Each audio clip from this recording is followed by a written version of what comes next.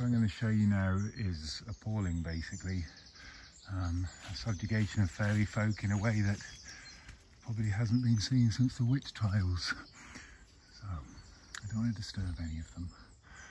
But what they have done is they've gone and locked the fairy tree door. I just can't believe it. How are they supposed to get in or out? They can't open a latch like that. Just, just saddens me.